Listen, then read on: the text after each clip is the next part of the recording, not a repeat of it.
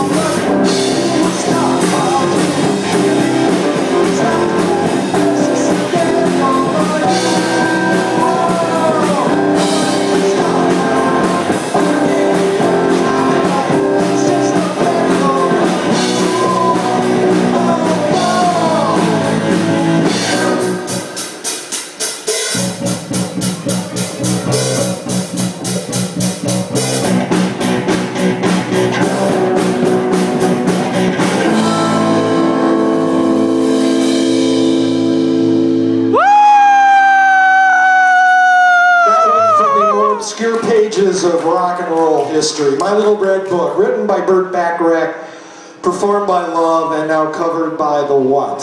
Free Bird!